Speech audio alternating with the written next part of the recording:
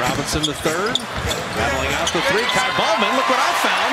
Just what you said, Kelenna, offensive rebounds. Ky Bowman's got a flex on him after that. Where did they find the points? They were able to do that in Utah a little bit. And Ky Bowman's a big reason why. And this is getting to be a little more than a Shot over trend. the top again. Gallo with that length. Uses that with the three ball, too. Willie Cauley-Stein with a baby hook. Willie Cauley-Stein has shot wonderfully in this build-up. Bowman running with friends. Push ahead, GR3! Slam dunk champ, but it started on defense. Wait a minute, Clay's doing what? He's going to be the sideline reporter. He's doing what? He's going to be the sideline reporter.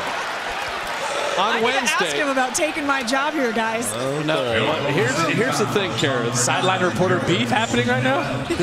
Missed a dribble handoff. Bowman floating. That's over Stevie Adams. Yeah, if you got that in your game, you make your life a lot easier. Because he's made a few, but Bowman is climbing up to nearly 50% from the field on the year. End of the Utah game with a very good first half here.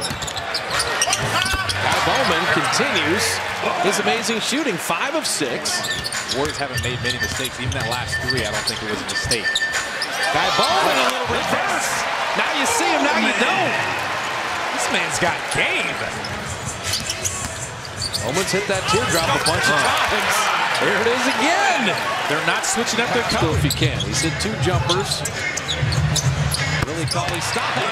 The outscoring inside on Stevie Adams, but he hit the outside So jumper. surprising we saw him make a bad pass not a few plays ago.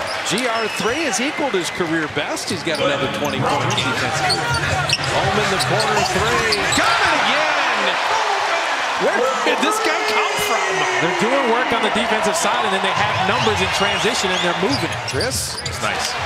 don't forget he's got a 40-inch vertical, so he bounces high. Five-second game shot clock difference. Ky Bowman inside and Bowman to the line. Up three at the end of one. Up six at halftime. Up seven right now with free throws coming on the floor for the Thunder. James Kruger, the two scorers. Bowman three. Mari Spellman set a screen.